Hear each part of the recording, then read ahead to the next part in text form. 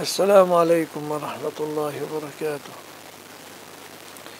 بسم الله الرحمن الرحيم الحمد لله رب العالمين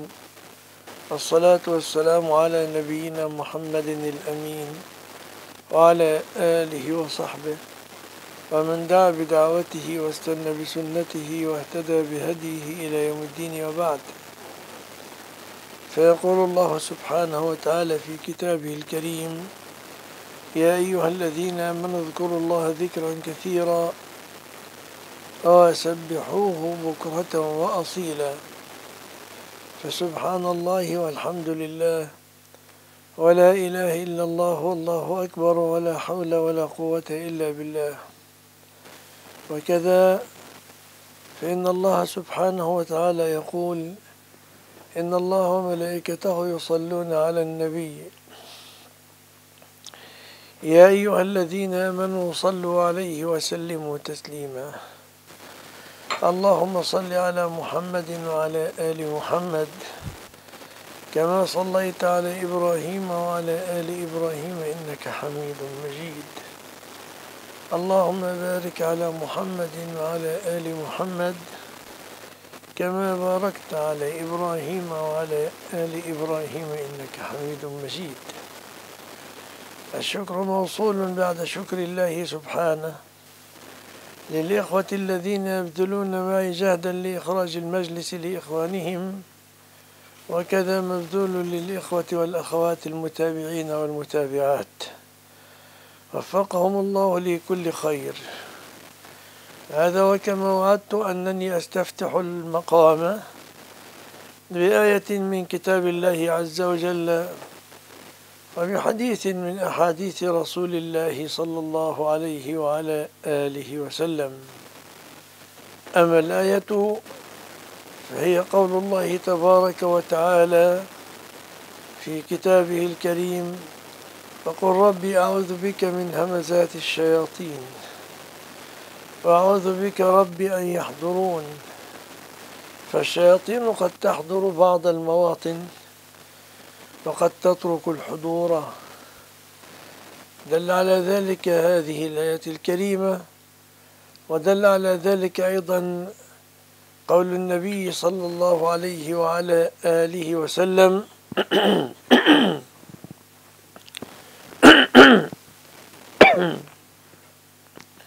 قول النبي صلى الله عليه وعلى آله وسلم وقد كان جالسا يأكل مع أصحابه فجاء غلام كأنه يدفع فوضع يده في الطعام دون أن يسميه فنزع النبي يده ثم جاءت جارية كأنما تدفع فوضعت يدها في الطعام فنزع النبي صلى الله عليه وسلم يدها وقال الشيطان أتى بهذا الغلام وبهذه الجارية كي يأكلان ولا يسميان فيستحل بهما الطعام الذي نفسي بيده إن يده مع يدي في يديهما دل على ذلك أيضا أن النبي صلى الله عليه وسلم نام عن صلاة الفجر ذات, ذات يوم حتى طلعت الشمس كانوا في سفر فقال هذا مكان حضرنا فيه شيطان فالشياطين قد تحضر في أماكن ولا تحضر في أماكن أخر ومن ثم فإن أمرنا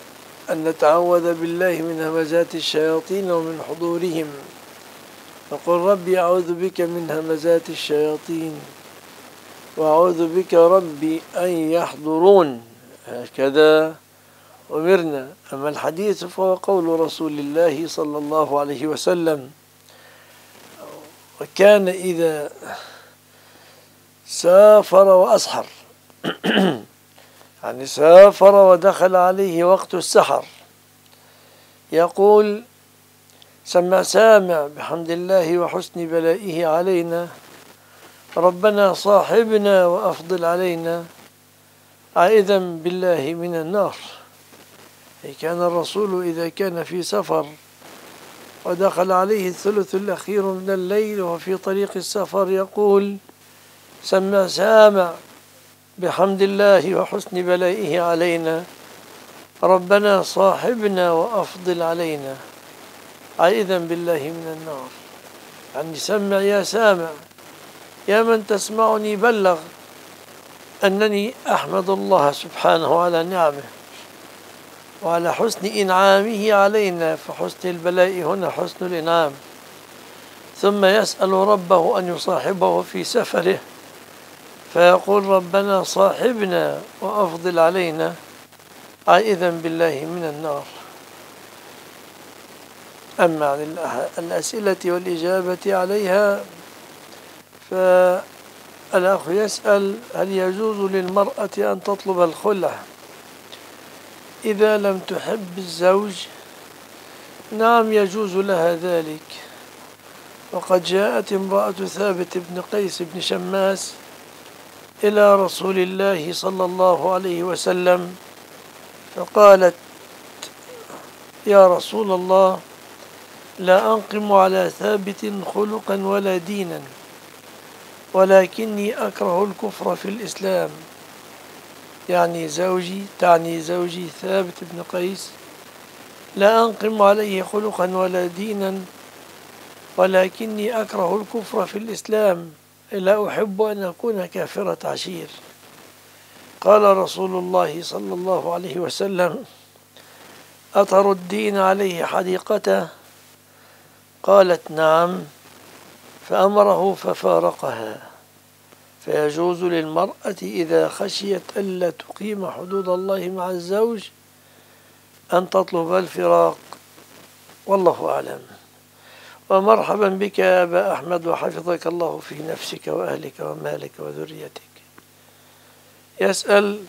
عن حكم الإجهاض في الشهر الأول في وقت الكورونا خوفا على نفسها وعلى أطفالها ومعها خمسة أطفال هذا خوف لا مبرر له وأختار لها أن تبقي على جنينها ولا تجهضه فإن فعلت وأجهضت فليست كمن أجهضت بعد نفخ الروح فيه لأن الشهر الأول لا تنفخ الروح في الجنين هل إن أعطيت أحد أولادي ليصرف أعطي إخوته مثله أقول وبالله التوفيق الهبات المسببة لا يشترط فيها العدل الهبات المسببة لا يشترط فيها العدل فأحيانا أهب هبة لولد لكونه مريض أو لكونه يدرس أو لكونه فقير فهذه اللبات المسببة لا يشترط فيها العدل والله أعلم هل يجوز للابن الذي يعول أسرة وبدون عمل من زكاة المال أنت امرأة لست بملزمة بالإنفاق عليه فعليه يجوز أن تخرجي زكاة المال لابنك المعطل الفقير الذي يعول ولا عمل له يجوز أن تعطيه أن تعطينه من الزكاة حكما علق الطلاق على شيء أختار الرأي القائل إذا وقع هذا الشيء فإنك فإنه عفوا يكفر كفارة يمين لما علم من حال إخواننا في مصر أنهم يعلقون الطلاق للتهديد ليس للإنجاز والله أعلم فعليه يكفر كفارة يمين شكرا لك يا أخي إسلام هل قول الصحابي يأخذ حكم الرفع قول الصحابي لا يأخذ حكم الرفع إنما هو موقوف لكن في بعض المواطن قول الصحابي يأخذ حكم المرفوع إلى رسول الله صلى الله عليه وسلم وذلك إذا قال الصحابي من السنة كذا أو قال الصحابي أحل لنا كذا حرم علينا كذا أو قال الصحابي أمرنا بكذا نهينا عن كذا فهذا كله له حكم مرفوع إلى رسول الله صلى الله عليه وسلم أما مجرد قول الصحابي فلا يأخذ حكم الرفع والله أعلم حلق شعر اللحية لتكون أكبر لا تفعل وحفظك الله يا شيخ فتوح وسلمك هل أخذ العوض مكان شيء كسر حرام كان قد تعمد الإتلاف عموما أخذ العوض ليس بحرام لأن زوجة رسول الله صلى الله عليه وسلم لما كسرت الصحفة التي أرسلت بها زوجة أخرى إليه فيها طعام أخذ النبي صلى الله عليه وسلم صحفة التي كسرت وأعطاها لصاحبة الصحفة المكسورة وأيضا لما هدموا صومعة جريج قال أعيدوها كما كانت والله أعلم ما صحة قال حديث قال أعلم يا معاذ أنها سوف تمحى أمتي لا أعلم له أصلا وأذكر بأنه دوما في أوقات الفتن والقلاقل تظهر أحاديث ضعيفة كثيرة جدا ومكذوبة على رسول الله صلى الله عليه وسلم فليتفطن لمثل ذلك حكم الحقن المجهري لا بأس به إذا كان الطبيب أمينا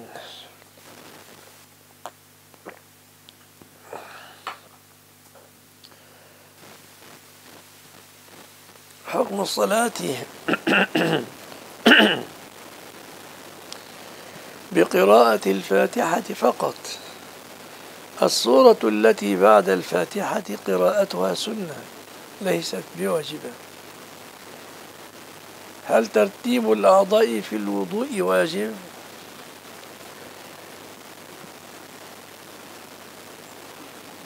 الواو في قوله تعالى إذا قمتم إلى الصلاة فاغسلوا وجوهكم وأيديكم إلى المرافق فامسحوا برؤوسكم الواو عموما لا تفيد الترتيب في كل وقت إنما قد تفيد مطلق التشريك في بعض الأوقات ولكن المعهود عن رسول الله صلى الله عليه وسلم أنه كان يرتب حديث إني سألت ربي لأمتي ألا يهلكها بسنة عامة ثابت صحيح هناك أناس من جلدتنا يتكلمون في شرع الله أنطلب لهم الهداية أم ندعو عليهم إذا كانوا جهلة طلبنا لهم الهداية إذا كانوا مرضوا على النفاق والكفر ويمكرون بالإسلام وأهله فتقوى وجهة الدعاء عليهم تقوى وجهة الدعاء عليهم هذا لأن الأصل في المسألة أن الدعاء بالهداية للكفار جائز وأن الدعاء عليهم أيضا جائز قال رسول الله صلى الله عليه وسلم اللهم أعز الإسلام بأحب هذين الرجلين إليك بعمر بن الخطاب أو بأبي جهل بن هشام وأيضا قال الرسول عليه الصلاة والسلام لما قيل له إن دوسا عصت وأبت قال اللهم اهد دوسا وأيضا في هذا الصدد فإن أبا هريرة جاء إلى رسول الله صلى الله عليه وسلم وذكر له أن أمه نالت منه ومن الإسلام فقال اللهم اهد أم أبي هريرة ويجوز الدعاء عليهم لأن الله ذكر موسى عليه السلام وقوله ربنا اطمس على أموالهم واشدد على قلوبهم فلا يؤمنوا حتى يروا العذاب الأليم ما آخر وقت لصلاة المغرب هو دخول العشاء ودخول العشاء يكون بسقوط الشفق الأحمر والمراد بالشفق الأحمر الحمرة التي تكون في السماء في اتجاه غروب الشمس بعد سقوط قرصها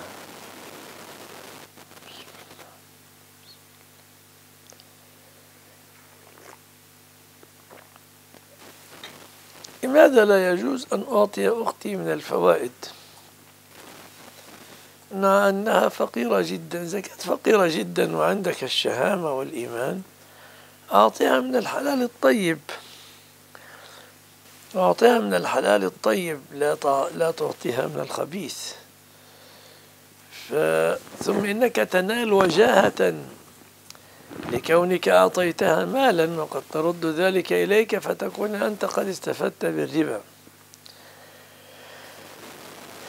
حكم عثر عليه بعد سنة ونصف تحت التراب عثر عليه بعد سنة ونصف تحت التراب هل يصلى عليه يصلى عليه فالميت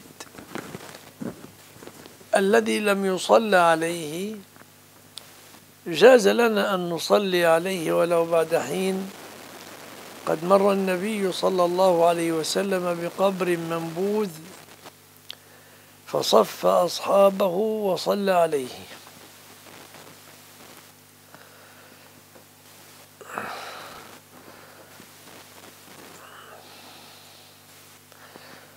هل يجوز التخفيف في جميع النوافل مثل سنة الفجر؟ يجوز لكن الأفضل أن يكون التخفيف خاصا بسنة الفجر عن التخفيف الزائد بارك الله فيك يا حمدي صح عن رسول الله صلى الله عليه وسلم أنه قال الدعاء لا يرد بين الأذان والإقامة فادعوا هل يجوز تثبيت يوم ميلادي أو هجري لدفع كل زكاة المال أما الميلادي فلا لأن الأحكام الشرعية كلها تنبني على الشهور الهلالية العربية قال الله تعالى يسألونك عن الأهلة قل هي مواقيت للناس والحج فالأشهر الهلالية هي التي تبنى عليها الأحكام صيام شهرين متتابعين أي من الأشهر الهلالية كذلك المطلقات يتربصن بأنفسهن أربعة أشهر وعشرة من الأشهر الهلالية كل الأحكام الشرعية تنبني على الأشهر الهلالية للآية المذكورة ولم يكن هذا التقويم الميلادي معروفا زمن النبي صلى الله عليه وسلم التراويح في البيت جائزة وفي المسجد جائزة بارك الله فيك ما الذي يقال في سجود التلاوة يقال في سجود التلاوة الذكر الذي يقال في سائر السجدات فلم يصح تخصيص سجود التلاوة بذكر معين والله أعلم الصلاة بمساجد بها أضرحة ابتعد عنها إلا إذا دعتك ضرورة لذلك أما البعد عنها فلأن النبي صلى الله عليه وسلم قال لا تصلوا إلى القبور وقال ألا إن من كان قبلكم كانوا يتخذون القبور مساجدا ألا فلا تتخذوا القبور مساجدا فإني أنهاكم عن ذلك وكذلك فإن النبي قال لعنة الله على اليهود والنصارى اتخذوا قبور أنبيائهم وصالحيهم مساجد أما كون الضرورة تجوز فقد قال تعالى وقد فصل لكم ما حرم عليكم إلا ما اضطررتم إليه وأيضا فإن الرسول صلى الله عليه وسلم كان يصلي عند الكعبة وحولها 360 صنما حكم قراءة القرآن من الجوال أثناء فترة الحيض لا مانع من ذلك والرسول صلى الله عليه وسلم كان يذكر الله على كل أحيانه وقال لعائشة رضي الله عنها لما حاضت في الحج افعلي ما يفعل الحاج إلا أن تطوفي بالبيت هذا والأخت وفقها الله لكل خير تقول مامة فلان وأولى لها أن تلزم العربية التي نزل بها القرآن الكريم وتقول أم فلان أحسن من قولها مامة فلان ومرحبا بك يا شيخ أحمد الحكيم وحفظك الله حكم هامش الجدية في المرابحة الأمر بالشراء للتعويض عن الضرر الفعلي ما أدري ما هامش الجدية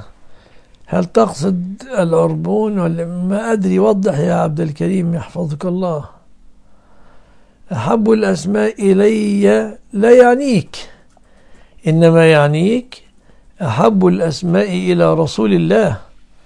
صلى الله عليه وسلم فهو أسوتنا جميعا ليس ليس ثم شخص أسوة إلا رسل الله الكرام عليهم الصلاة والسلام قال تعالى أولئك الذين هدى الله فبهداه مقتده قال تعالى لقد كان لكم في رسول الله أسوة حسنة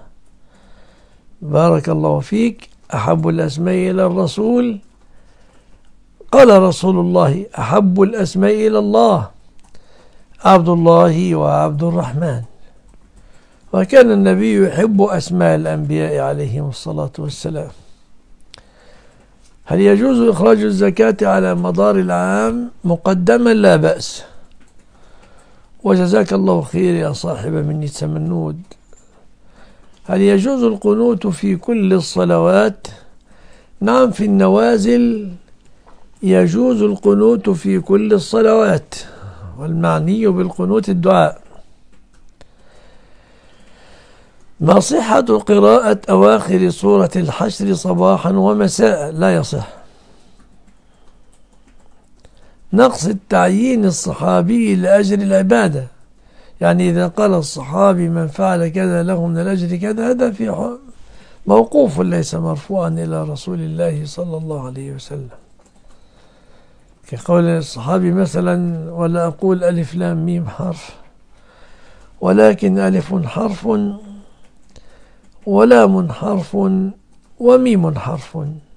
فهذا الصواب فيه الوقف اجتهاد من الصحابي وجزاك الله خير يا محمد بن زيادة وجزاك الله خير يا يحيى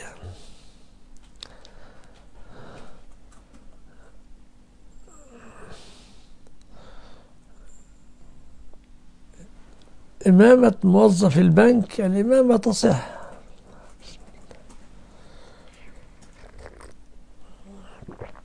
هل من علاج لقسوة القلب في السنة إجمالي الأمر أن الاستغفار والحنو على الأيتام من أسباب دفع القسوة عن القلب يصلي المغرب جماعة إذا دخل وقت العشاء يجوز إذا دعتك الظروف لذلك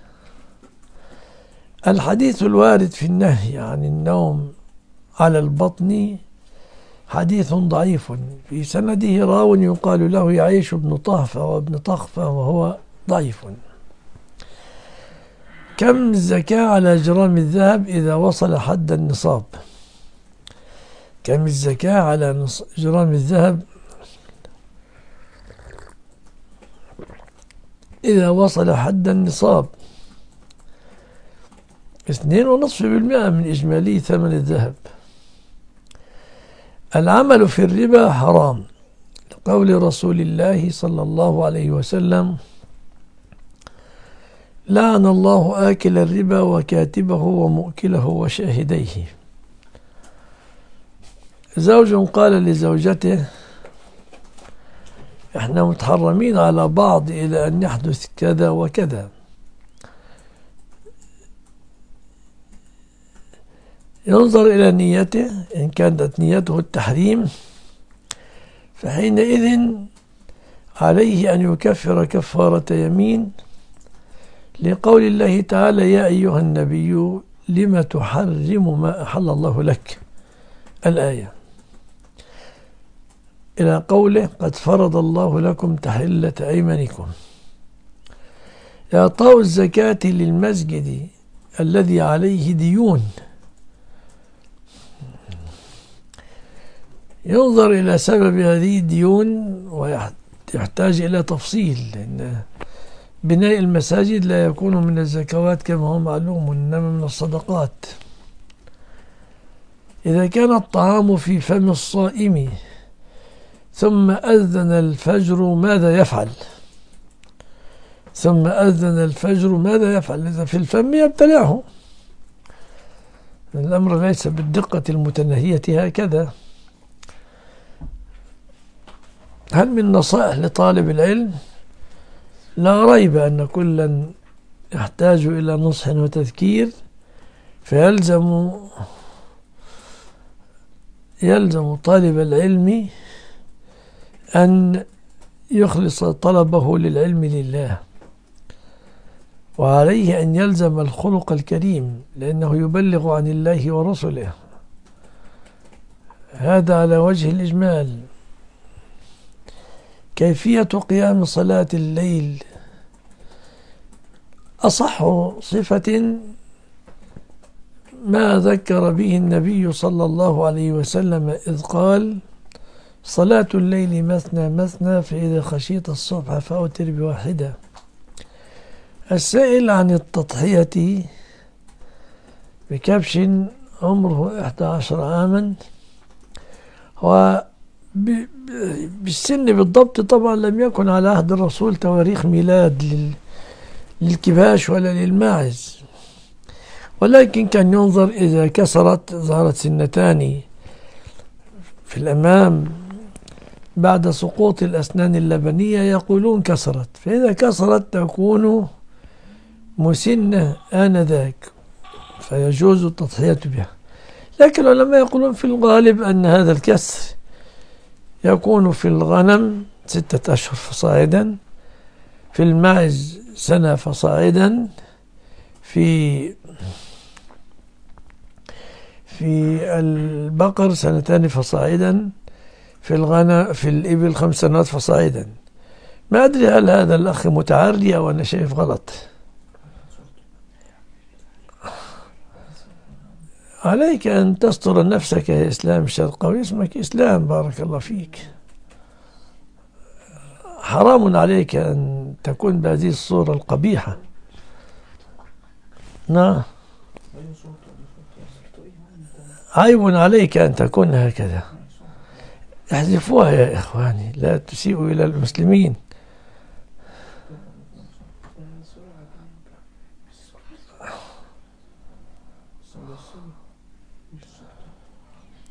احذفوا هذه القاذورات يا إخواني هل يجوز عفوا إذا اجتمع التمر والزبيب إذا اجتمع التمر والزبيب هناك حديث عن رسول الله صلى الله عليه وسلم أنه نهى عن خلط التمر بالزبيب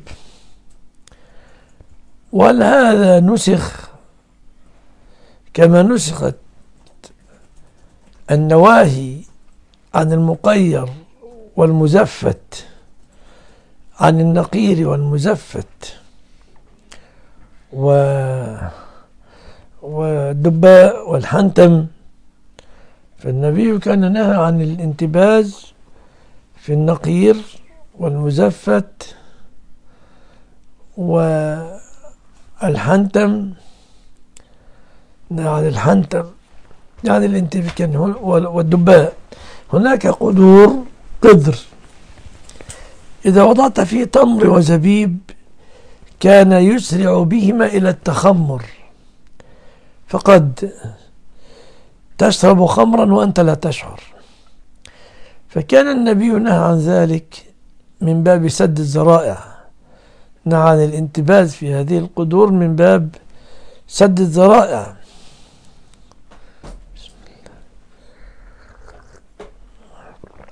ولما استقرت الأمور وعلم تحريم الخمر قال النبي انتبذوا كيف شئتم ولا تشربوا مسكرا فهل هذا القول يشمل أيضا نبذ التمر مع الزبيب فيجوز ما لم يصل إلى حد الإسكار أم لا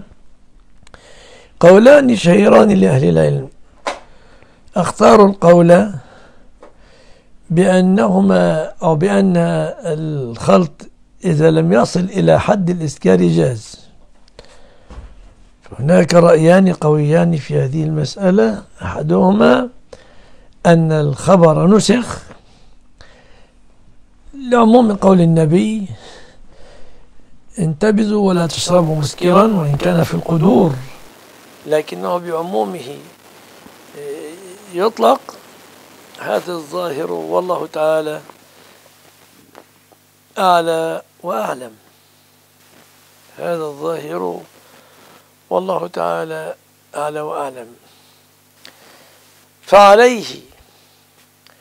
فالخشاف جائز وحديث نهى النبي صلى الله عليه وسلم عن الخليطين بهذا اللفظ لا يصح إنما نهى عن الزبيب مع التمر لأن أحدهما يقوي الآخر فيسرع به إلى أن يكون خمرا هذا الوارد أما نهى عن الخليطين فسنده ضعيف فمن ثم فكما أسلفت فالخشاف في رمضان جائز الخشاف في رمضان جائز الذين يجنحون إلى تحريمه يستدلون ب حديث ضعيف وهو نهى عن الخليطين والله أعلم ختان الإناث دائر بين الاستحباب والإباحة والله أعلم الظاهر من أمره أنه يرجع إلى حال الفتاة وتقييم الطبيبة والله أعلم ابنتها تبلغ من العمر 11 سنة بدأت علامات البلوغ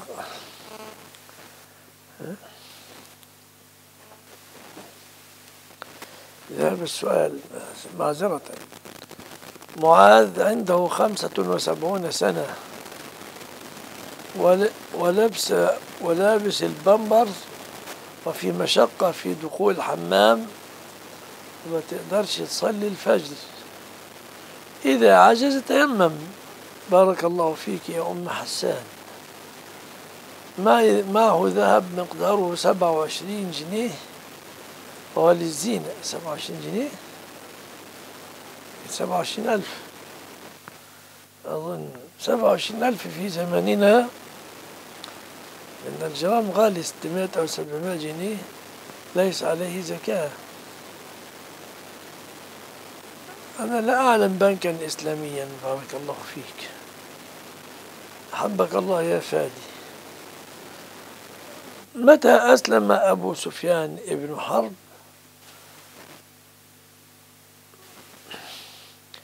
قيل أسلم عام الفتح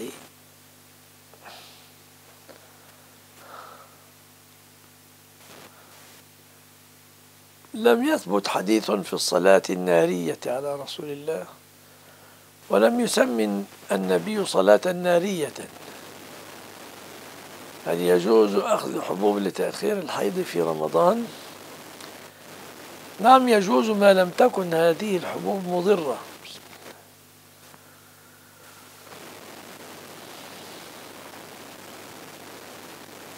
وجزاك الله خير يا محمود بن عبد العزيز هل تنصح بقضاء الفوائد؟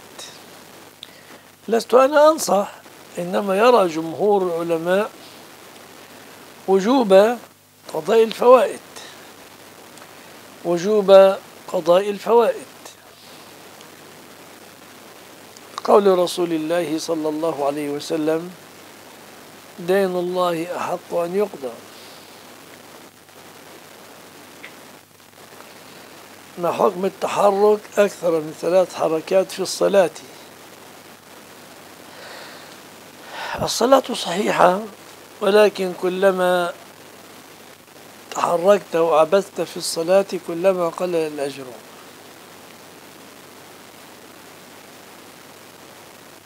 كيف تختار الزوجة الصالحة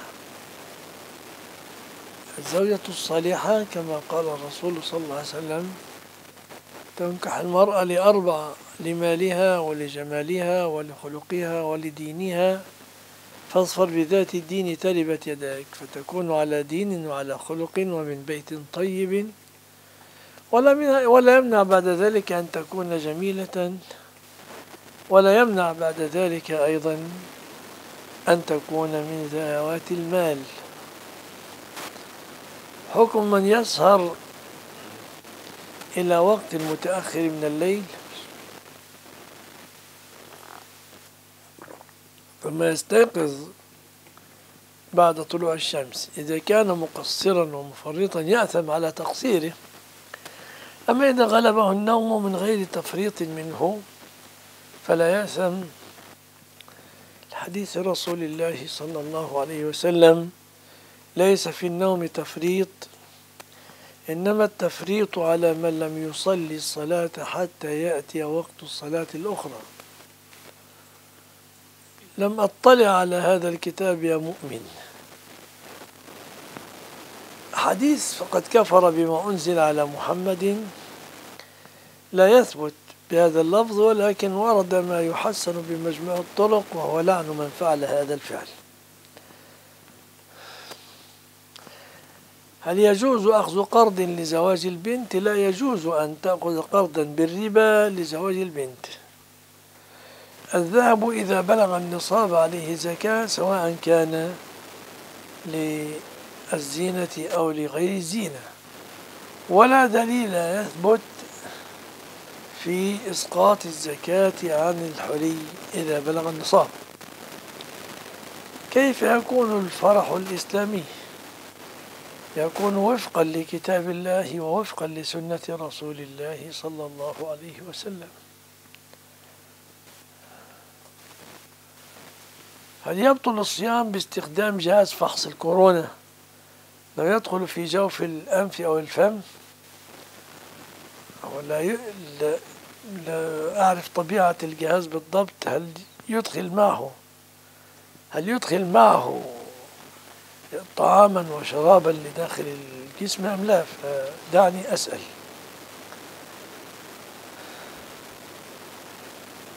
مال ورثناه عن أمي ووضعناه كوديعة في بنك إسلامي ونفكر أن الفوائد المتغيرة للوديعة نصرفها كفالة يتيم كصدقة جارية ما تصرفها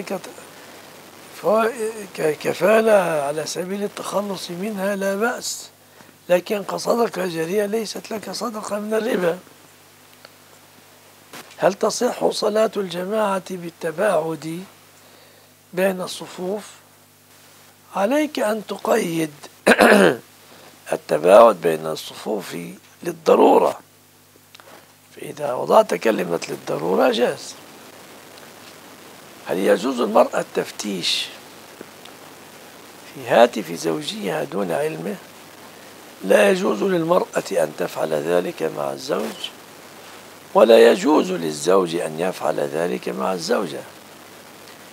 قول الله تعالى ولا تجسسوا والله أعلم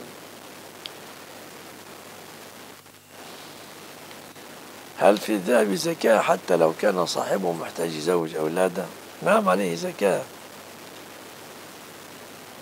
أفضل ذكر بعد الصلوات الذي لا نقاش في ثبوته هو ثابت يقينا ثلاث وثلاثون تسبيحة وثلاث وثلاثون تحميدة وثلاث وثلاثون تكبيرة ابنتها 11 سنة ولا زالت لم تحض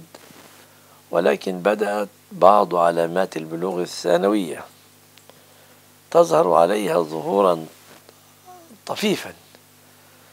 إذا لم تكن حاضت فما زالت لم تكلف وإن دربتها على الصوم فهو حسن حكم قراءة القرآن جماعة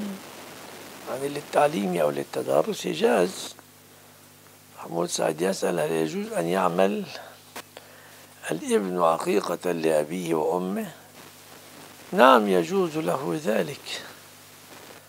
فلا يلزم أن تكون العقيقة من مال الشخص وقد عق ابن سيرين عن نفسه عند الكبر حديث من قال سبحان الله بحمده مئة مرة غفرت له ذنوبه وإن كانت من سبب البحر صحيح هل هناك حرج من الأكل والشرب وقفا الأحاديث التي وردت في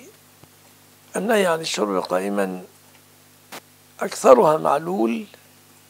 أكثرها معلول وراها لا تثبت والأصح منها أن النبي شرب قائما هناك مثل على سبيل المثال حديث هو الشهير من طريق قتادة عن أنس معلول أنه من طريق قتادة عن أبي عيسى الأسواري عن, عن أبي سعيد الخدري والسند فيه مجهول السند فيه مجهول وقد ورد حديث أيضا فيه علة كنا نأكل على عهد النبي صلى الله عليه وسلم ونحن نمشي ونشرب ونحن قيام ونشرب ونحن قيام حديث أعله أبو حاتم الرازي في كتابه العلل إذا كنت أخاف ألا أقيم الليل ماذا أفعل هل أسهر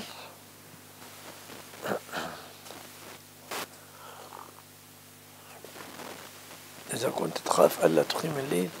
ماذا تفعل؟ صلي صلاة الليل وأوتر بعد العشاء قبل أن تنام وقد قال أبو هريرة رضي الله عنه أوصاني خليلي بثلاث أن أوتر قبل أن أنام هل هناك نهي عن جمع التمر والنوى في إناء واحد؟ نعم هناك نهي في ذلك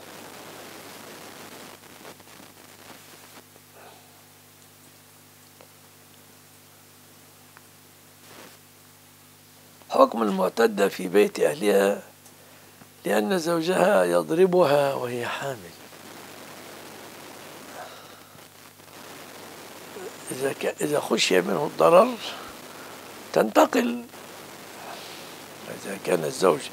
يريد إجهاض زوجته فيضربها كي تنزل جنين فلها أن تنتقل إلى بيت أبيها للاضطرار والله قال وقد فصل لكم ما حرم عليكم إلا ما اضطررتم إليه هل لي أن أصلي بأولادي في المنزل صلاة الجمعة بخطبة لا مانع من ذلك يا عمرو أحبك الله الذي أحببتنا فيه هل تجوز تهنئة النصارى في عيدهم؟ لم يصنع ذلك النبي صلى الله عليه وعلى آله وسلم مع وجود اليهود في المدينة ومع وجود النصارى في زمانه ولم يرد أنه هنأهم وقد أسلفنا القول في ذلك مرارا بما حاصله أنه يحرم إذا كان العيد يخالف ديننا مثلا نحن نقول عن عيسى ما قتلوه وما صلبوه ولكن شبه لهم ولكن هم يقولون صلب عيسى الجمعة وقام الأحد فيحتفلون بالعيد يوم الأحد هذا القيامة فلا يجوز أبدا أن نهنئهم بذلك بارك الله فيك هل لتبييت النية في صيام التطوع فضل عن النية بعد طلوع الشمس؟ طبعا هي أخرج من الخلاف يا أخ هيثم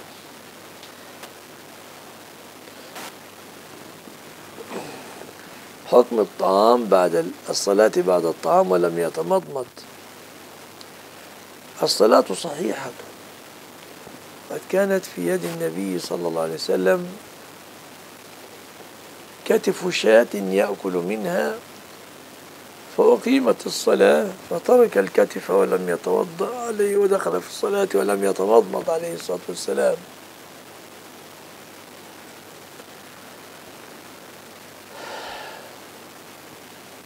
عبد الله ابن كمال يسأل حججت بيت الله وكنت أطوف وأنتقد وضوئي وأكملت الطواف ماذا علي علما أني كنت أحج البيت وليس عمرة سنختار لك ما دام الأمر قد انتهى رأي العلماء القائلين بأنه يستحب الوضوء للطواف وليس بركب وليس بواجب ليس بواجب وذلك لتضعيفهم حديث وهو ضعيف الطواف بالبيت صلاة إلا أن الله أباح فيه الكلام والصواب أنه موقوف على ابن عباس فعليه تقوى وجهة العلماء القائلين بأنه لا يلزم الوضوء للطواف وإن لم يكن هو رأي الجمهور اسأل مرة أخرى يا إسلام لكن هكذا رأينا هكذا رأينا وما شهدنا إلا بما علمنا الذي رأيناه شيء يؤذي البصر وأنت تأثم لأنك شوشت على أبصارنا ونحن نعلم قول الله تعالى إن السمع والبصر والفؤاد كل أولئك كان عنه مسؤولا فأحببنا أحببنا أن ننقي هذه الصفحة من أي شيء نراه من القذر فإن كانت وجهة نظرك أن أتيت بصورة عارية تقول ليست ليس فيها مخالفات شرعية ما أدري ما تصورك للمخالفة الشرعية إذن إذا أتيت بصورة عارية لم يخف منها فقط إلا السوءتان وكلها عارية كيف ترضى لأختك أن تطلع على هذه القاذورات كيف ترضى لأمك أن تطلع على هذه القاذورات كيف ترضى لبنات المسلمين أن يطلعن على هذه القاذورات وبعدها تقول صورة ليست فيها مخالفات أنصحك بالاستغفار حتى ترى الأمور على حقيقتها حتى ترى الأمور على حقيقتها بارك الله فيك يقول سيد الملا أنه يعمل في السعودية في السمسرة في العقار وأخذ حقي من المشتري كما هو مشروع في البلد ولكن ليس عندي تصريح بذلك فكتب بصورة ودية ف... فلا بأس بصورة ودية والله أعلم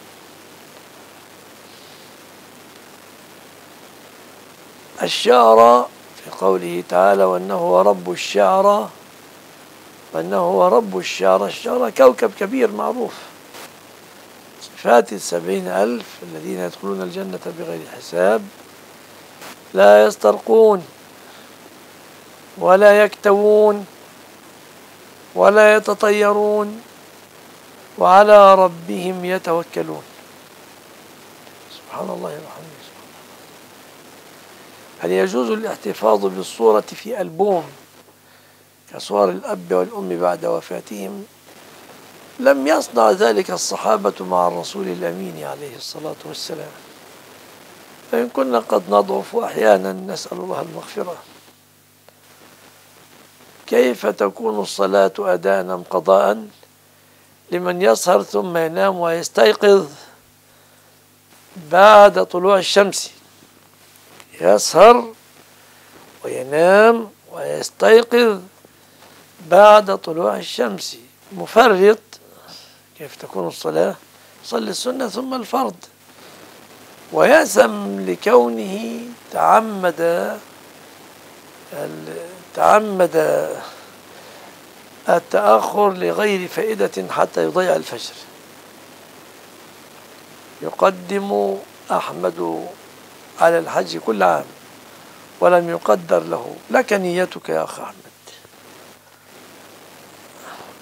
يسأل عن نصيحة لكثيرة الكذب ولكثيره أيضا إن النبي صلى الله عليه وسلم قال عليكم بالصدق فإن الصدق يهدي إلى البر وإن البر يهدي إلى الجنة ولا يزال الرجل يصدق وتحرى الصدق حتى يكتب عند الله صديقا ياكم الكذب فإن الكذب يهدي إلى الفجور الفجور يهدي إلى النار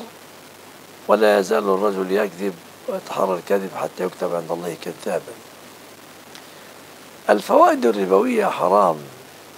تجارة والربح الحلال حلال هل يجوز المرأة أن ترد زوجها في صلاة الجماعة المرأة إن نابها شيء في صلاتها تسبح عفوا تصفق كذا تصفق المرأة إذا نابها شيء أو رباها شيء في صلاتها لكن إذا كانت تصلي مع زوجها فهل في هذه الحالة يجوز لها يجوز لها أن ترفع صوتها بتصحيح الخطأ الذي أخطأ فيه الزوج فهذه محل اجتهاد من بعض العلماء الذين جوزوا قالوا إذا لم يكن يسمعها إلا الزوج جاز لكن ليس نصا عن رسول الله إنما هو اجتهاد وأهلا يا مرحى يا ميسرة حفظك الله بلغ والدك السلام اسم جواد ما حكمه اسم جواد حكمه أنه لا بأس به مباح ما الزينة التي يستحب للرجل الذهاب بها للمسجد ثوب نظيف ثياب نظيفة يتطيب يستاك بارك الله فيك بعد أن يغتسل حكم الصيام للشخص النازل يعني مسافر نازل اختار أنه يصوم يعني مسافر وصل إلى القاهرة وسيمكث فيها أسبوعا سيمكث أسبوعا في بيته هل يصوم في هذا الأسبوع أو يعد مسافرا لا يصوم وقد قال تعالى فمن كان منكم مريضا أو على سفر فاختار أن كلمة على سفر لها وجهة أن تتنزل على المسافر الذي جد به المسير أما مسافر سيمكث مثلا أسبوعا أو سيمكث ثلاثة أيام في بيته أتحرج أن أقول له أفطر بهذه المثابة الله قال من كان منكم مريضا أو على سفر فهل على سفر تعني جد به المسير أحتاج إلى البحث عن مزيد من أقوال العلماء في هذا الصدد لما وجدت تفصيلا قويا فيها للآن ابنتي ابنته كانت تفطر في رمضان الرضاعة وتطعم هل هذا جائز؟ هذا قول فقهي قول لبعض الفقهاء ولا أختاره إنما أختار أنها تعيد أختار أنها تعيد الأيام التي أفطرتها ولكن كما قال العلماء العبادات التي فعلت جهلا وانتهى وقتها لا تعاد والله أعلم كيف أتوقف عن ذنوب الخلوات اسأل الله العون قال الصديق وإلا تصرف عني كيدهن أصب إليهن وأكن من الجاهلين حكم من الاعتكاف في المنزل ولم يرد الاعتكاف في المنزل لكن الله قال ولا تباشرهن وأنتم عاكفون في المساجد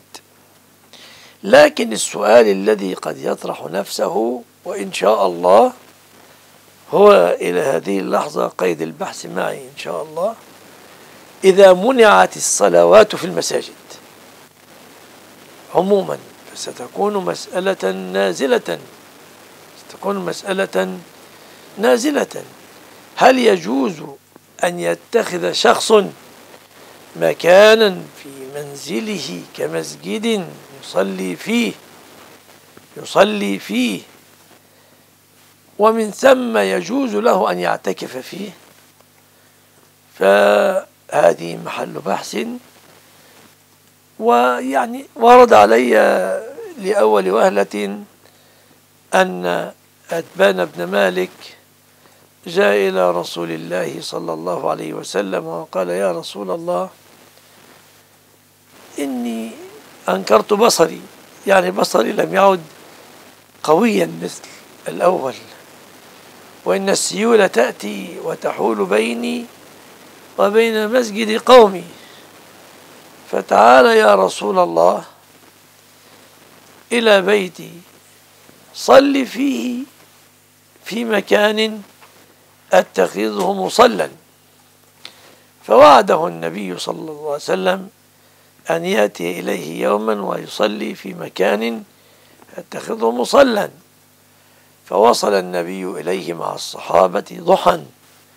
وقال له يا عتبان أين تريد أن أصلي من بيتك أين المكان فقال ها هنا يا رسول الله فصلى به الرسول واتخذ ذلك مسجدا مسجدا آنذاك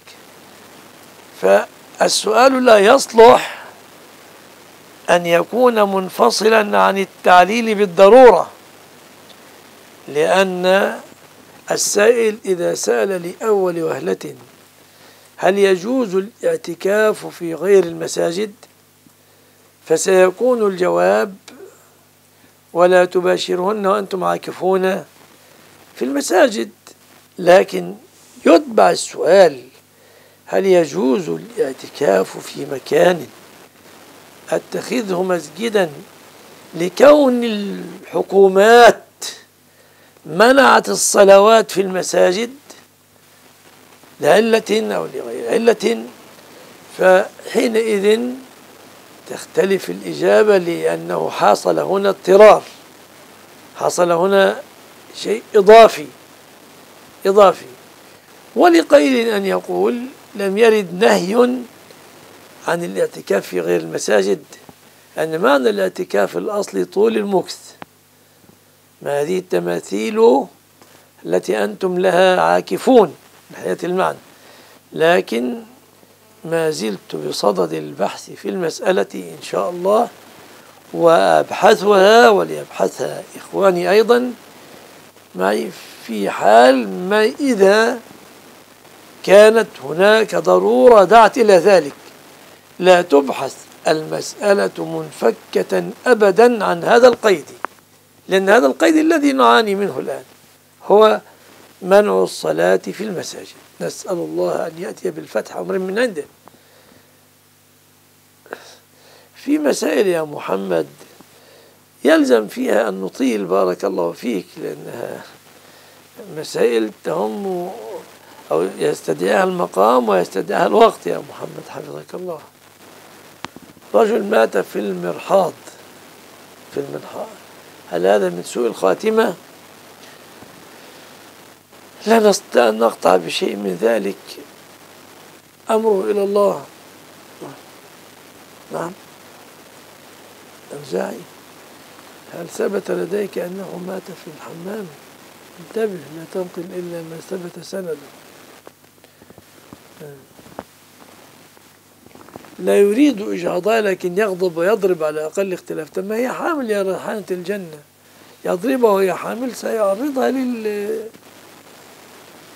سيجهضها إذا اتقت شره فهذه ضرورة يعني هو مطلق والزوجة حامل وتعتد في بيته امتثالا لأمر الله لا تخرجهن من بيوتهن ولا يخرجن هو يضرب ف في هذه الحال هو يضرب فستتعرض للإجهاض فإذا اتقت شره حتى لا يقع في مصيبة هذه ضرورة في هذه الحال وجزاك الله خيرا يا سنوسي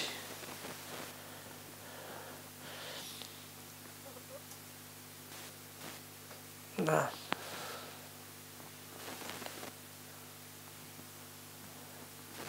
طيب يفطر الصائم إذا حديث الجاهر بالقرآن كالجاهر بالصدقة والمسر بالقرآن كالمسر بالصدقة حديث ضعيف الإسناد حكم قول صدق الله العظيم صدق الله العظيم ما فيها شك هل تشك أن الله صدق لكن تقيد السؤال هل يجب أن يختم القارئ قراءته القرآن بقول صدق الله العظيم قل لم يرد هذا عن رسول الله صلى الله عليه وسلم ولكن المعنى ثابت بلا ريب آه، والنبي آه، عليه الصلاة والسلام لما قال له أبو هريرة عفوا أبو الدرداء إن سلمان قال كذا وكذا قال صدق سلمان فلا نستطيع أن نبدع لكن الذي نستطيع أن نقول إن النبي لم يرد أنه كان يختم كل قراءة بقول صدق الله العظيم وإن كان قد قالها لما جاء الحسن بن علي الحسين عليهما الحسن والحسين عليهما ثوبان أحمران يتعثران فقال صدق الله إذ قال إنما أموالكم وأولادكم فتنة لماذا توقف البث شغال يا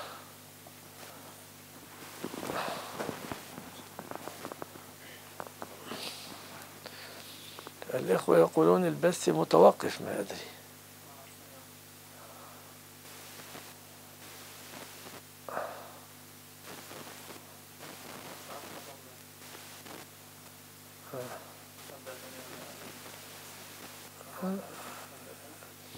انت إيه، مش مشكلة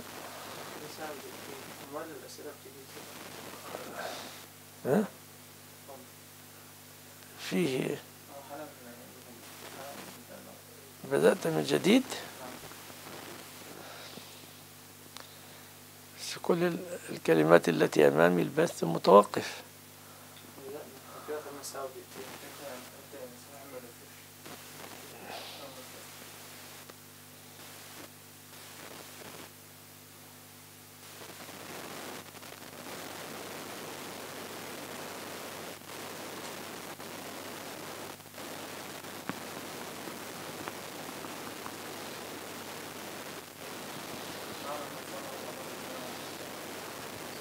معنى من صام رمضان إيمانا بأن الصيام فرض عليه واحتسابا طلبا للأجر من الله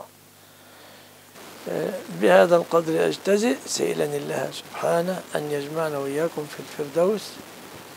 مع المنعم عليهم من النبيين والصديقين والشهداء والصالحين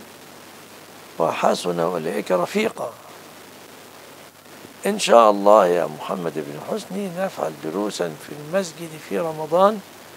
أرجو من الإخوة والأخوات المتابعين والمتابعات بيان الوقت الأمثل نعم مش مش فالدروس من خلال البث إن شاء الله آه. لكن أطلب من الإخوة والأخوات إفادتنا كاستبيان بالأوقات التي يريدونها وفقهم الله لكل خير أيها الإخوة والأخوات بارك الله فيكم جميعا اجتهدوا في تعلم كتاب الله وفي تعلم سنة رسول الله صلى الله عليه وسلم فالحريص على تعلم الكتاب والسنة يحصل علما غزيرا في وقت قصير أنه يأتي على خير العلوم كتاب الله وسنة رسول الله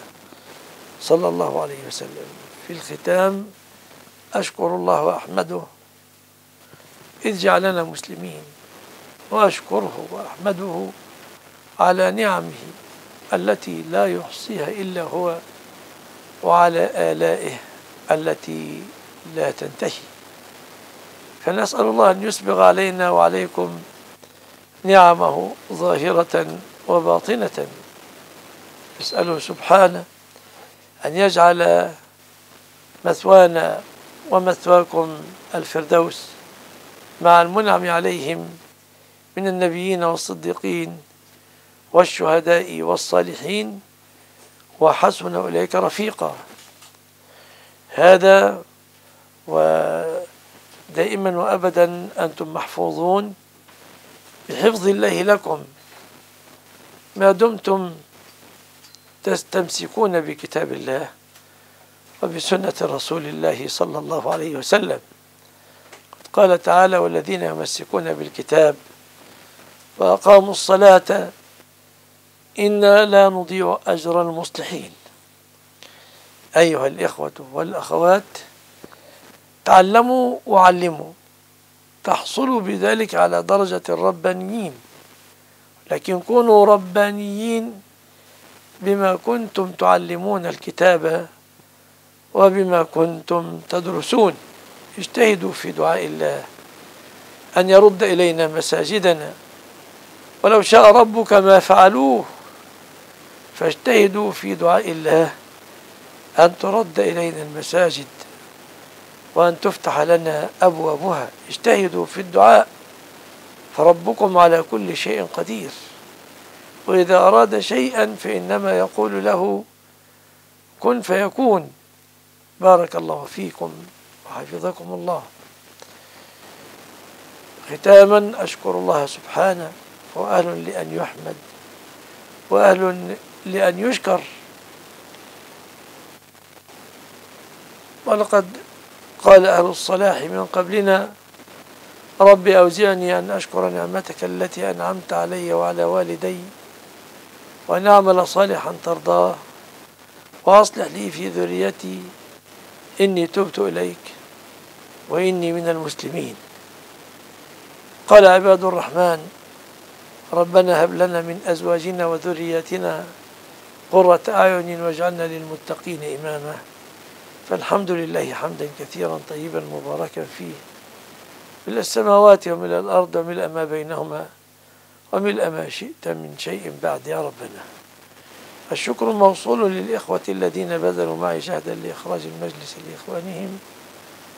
وكذا مبذول للإخوة والأخوات المتابعين والمتابعات وفقهم الله لكل خير سبحانك اللهم ربنا وبحمدك أشهد أن لا إله إلا أنت أستغفرك وأتوب إليك السلام عليكم ورحمة الله وبركاته حفظك الله يا شيخ محمود العزبي وسير إخوانك وأخواتنا المتابعين والمتابعات والسلام عليكم ورحمة الله